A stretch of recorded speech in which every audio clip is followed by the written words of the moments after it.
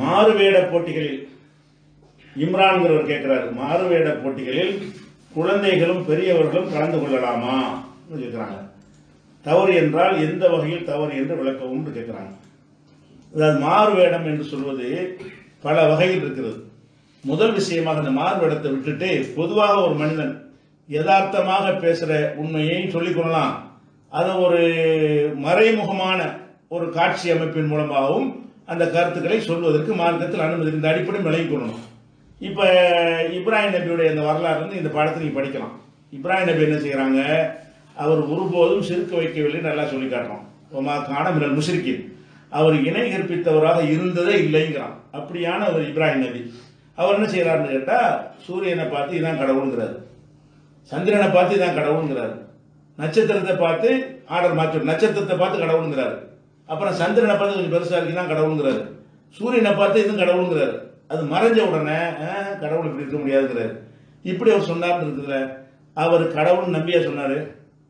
ஆதார் அப்படின்னு நட்சத்திரத்தை பார்த்து இறைவனுங்கிறார். கண்டிப்பாக அவர் நட்சத்திர இறைவன் நினைச்சே இருக்க மாட்டார். இருக்கல. ஏன்னு கேட்டால் அவர் ஒருபோதும் இணை கற்பித்தவராக இருந்தது இல்லை. இதை சொன்ன பிறகு அல்ல என்ன செய்யறான்னு கேட்டால் இது இந்த இந்த இந்த அத்தாட்சிகளை இந்த அறிவை நாம் தான் அவர் கொடுத்தோம் நல்லா சொல்லி காட்டுறோம். இப்படி சொல்ல சொன்னது நான் தாங்கிறான் அப்போ எதுக்கு அதை சொல்கிறாங்க சந்திரன் கடவுள் இல்லைன்னு தெரியும். இவங்க கல்லு மண்ணு கடவுளுங்கிறாங்க. அதுலேருந்து அவனை மாத்துறதா இருந்தா இதுக்கு அது பரவாயில்லடான்னு அப்படி கொண்டு வர்றாங்க. நீ கல்ல கடவுளுங்கிற இங்க பாரு சு- சந்திரன் எவ்வளோ அழகா இருக்கு வெளிச்சமா இருக்கு. இந்த கல்லில் வெளிச்சம் கூட இல்லை. அது கடவுளுங்கிறாங்க. நம்ம கல் நெருங்கி வர்றான்னு வர்றாங்க. அது மறைஞ்சவன் மறைஞ்ச கடவுளா இருக்காதுங்கிறாரு. அப்போ அவங்க என்ன செய்யறாங்க ஆமா கடவுளுக்கு சில இலக்கண மண்பட இருக்க நம்ம தப்பா வழங்கிட்டோமே அப்படின்னு அவங்ககிட்ட ஒரு சின்ன ஒரு முன்னேற்றம் சிந்தனையில் அடுத்து என்ன செய்யறாரு சந்திரன் அடுத்த நாள் பார்த்து என்ன செய்யறாரு இதான் கடவுளுங்கிறாரு. கடவுள் நினைச்சு அவர் சொல்ற நடிக்கிறார். நடிப்பு தானே அது? கடவுள் என்றால் அது நெசம்ன்ற ஒரு கடவுள் நம்பி சொன்னால் அது உண்மை. அவரை நம்பாமல் சொன்னால் நடிக்கிறார். எதுக்கு நடிக்கிறாரு? அந்த மக்களை எஜுகேட் பண்ணி அவங்களை மேலே கொண்டு வருவதற்காக வேண்டி சிந்தனையை தூண்டுவதற்காக வேண்டி அவங்கள மாதிரியே போய் பேசுறது. அவங்க ஸ்டைலில் போய் பேசி என்ன இந்த பிறகு கடவுள் ஆ, பரவாயில்ல இது அப்படிங்கிறாங்க. இந்த கல்லெல்லாம் விட்டுருவோம். நம்ம சந்திரனை வணங்குவோம். ஏன்னா அது வெள்ள வெளிச்சமாக இருக்குது. அப்படிங்கிற லெவலுக்கு கொண்டு வர்றாரு. அதுக்கு வந்த பிறகு என்ன செய்யறாரு? நம்ம அது மறைஞ்சு போயிருமா? இது மறையக்கூடாது. கடவுள் எப்பவும் பார்த்துக்கிட்டு இருக்கணும். மறையிறது வந்து இருக்க முடியாதுங்கிறாரு. அவன் அது ஆமா சரிதாங்கிறாங்க. அடுத்து சூரியன் வருது. இது அதோட நல்லா பெருசாக இருக்கு. இதான் கடவுள் அப்படிங்கிறாரு. அப்போ சூரியனை கடவுள்னோட என்ன செய்யறாரு? அது மறைஞ்சவொடனே இது கடவுள் இல்லைங்கிறாரு. அப்புறம் அடுத்த நாள் நாளைக்கு என்ன செய்ய போறாரு? காத்துட்டு இருக்கிறாங்க. என்னடா இன்னைக்கு சூரியன் சன் நட்சத்திரங்கிறாரு இன்னைக்கு சந்திரங்கிறார் நாளைக்கு சூரியன்கிறார். நாளைக்கு என்ன சொல்லுவாருன்னு வெயிட் பண்ணுறாங்க அப்ப இன்னி வஜ்ஜகுத்து வஜிகள் இல்லது பத்திர சமாவாத்தி உள்ளார். நான் வந்து வானபூமி எவன் படைச்சானோ அவனை நோக்கி திரும்பிட்டான். அவன் தான் கடவுள். அவனை நோக்கி நான் கவனம் திருப்பி விட்டேங்கிறார். இப்போ இப்ராஹிம் நபி வந்து இதை இந்த நிலையில தான் அவருடைய அறிவு இருந்ததா? இல்லை. நட்சத்திரத்தை கடவுள்னு சொல்ற அளவுக்கு அவர் இருந்தாரன்னா இருக்கவில்லை. சந்திரனை கடவுள் நம்பினாரான்னா நம்பவில்லை. சூரியனை கடவுள் நம்பவில்லை. நம்பாட்டாலும் இவங்களுக்கு புரிய வைப்பதற்காக வேண்டி வேறொரு ட்ராக்ல போய் நம்புற மாதிரி நடித்து இதை நான் நம்புறேன் அப்படிங்கிற மாதிரி நடித்து என்ன செய்கிறாரு? அவர் அதை சொல்றாரு. பொய்யெல்லாம் அவர் சொல்லல அவங்க சிந்தனையை மேம்படுத்துவதற்காக வேண்டி ஒரு ஒரு ந- ஒரு பொய்யான விஷயத்தை வந்து நான் நம்புற நம்புற மாதிரி. செய்தியில் நான் நடிக்கலாம்னா தோட்டத்தில் நடிக்கலாம் தானே. செய்தியில் அவர் என்ன செய்கிறாரு இப்ராஹிம் நபி வந்து நடிச்சிருக்கிறார். அதே மாதிரி வந்து சிலையை உடைக்கிறார். எதுக்கு எல்லாம் திருவிழாக்கெல்லாம் போன பிறகு உடைக்கிறார். உடைச்சவனே யார்கிட்டையும் தான் உடைச்சான்னு கேட்குறாங்க நான் உடைச்சேன் அதை கேட்டுப்பாரு. பெரிய சாமிகிட்ட கேள்வி சொல்லணும். அப்படிங்கிறாரு. எதுக்கு சொல்றாரு? பெரிய சாமி சொல்லும்டா சொல்றாரு. அதுக்காக சொல்றாரு. அப்பதான் அவங்க வளர்ந்து இது எப்படி சொல்லணும்? இது பேசாத. லக்கத் அலிம்த மாகாவுல என்திக்கும் இது பேசாதுன்னு உனக்கே தெரியுமே. அதாவது என்ன செய்யறாருன்னா எல்லாம் உடைச்சி விட்டு ஒரே ஒரு சாமியை உடைக்க விட்டுறாரு. என்னடான்னு கேட்கும் அந்த சாமிகிட்ட கேளு யார் உடைச்சுன்னு கேளு.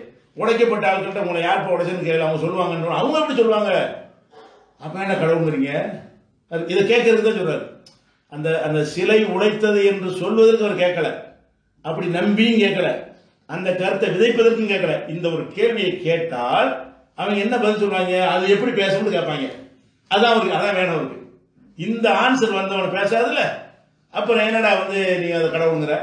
அப்படி கேட்டாங்க லக்க அலிம்த அவ்வளோ எழுத்திக்கும் இதெல்லாம் பேசணும்னு உனக்கு தெரியுமா தெரியாதா? அப்புறம் என்ன போய் அதான் உடைச்சிக்கிற அது கேட்குறாங்க. இப்ராஹிமே இது உடைச்சின்னு சொல்றிய உடை உடைக்கப்பட்ட சிலைகிட்ட போய் உன்னை யார் உடைச்சேன்னு கேட்க சொல்ற.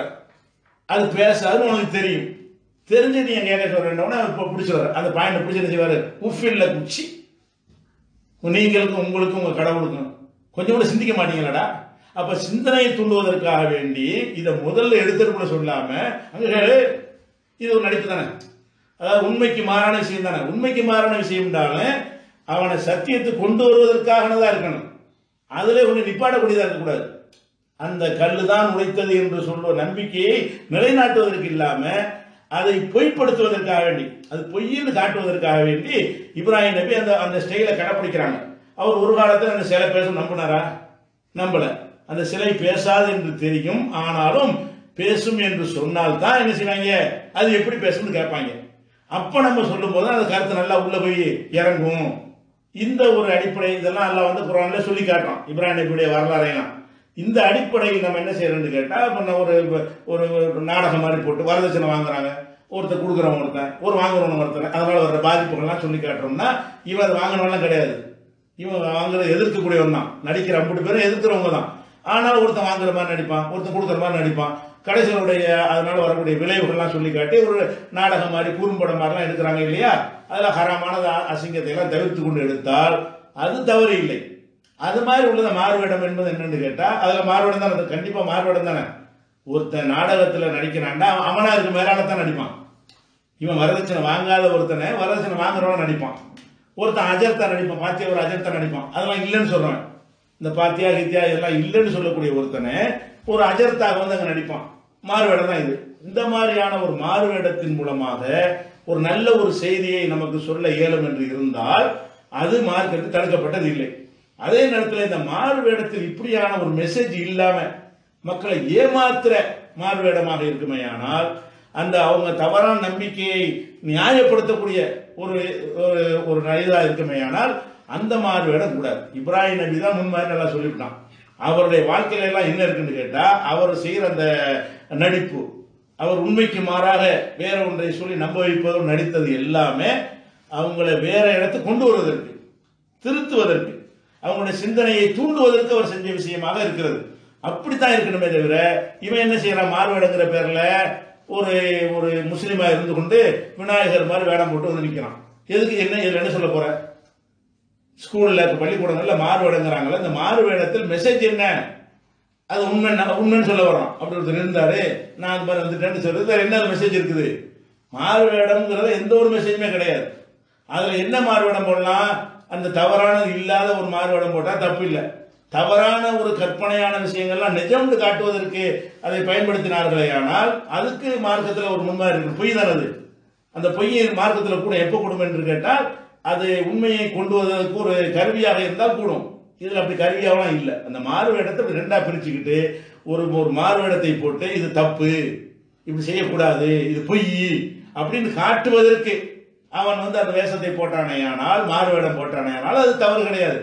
மாறுவேடம் போட்டு அது இன்னும் நெசமாக இருந்த மாதிரி அது மாதிரி பண்ணாரோ இந்த பெரிய காந்தி மாதிரி மாறுவேடம் போடுறேன் நான் வந்து ராமன் மாதிரி மாறுவேடம் போடுறேன் அதில் என்ன சொல்ல வர்ற நீ?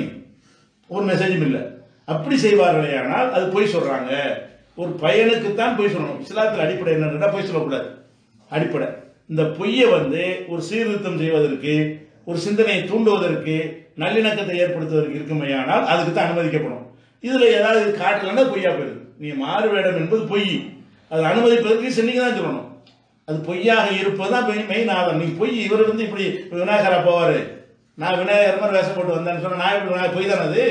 இந்த பொய் எப்போ உங்களுக்கு அனுமதிக்கப்படும் இதன் மூலம் ஒரு நல்ல ஒரு கருத்தை நீங்கள் சொல்லணும். இப்படிலாம் கிடையாது. இப்படி ஒருத்தன் வாழ்ந்தது கிடையாது.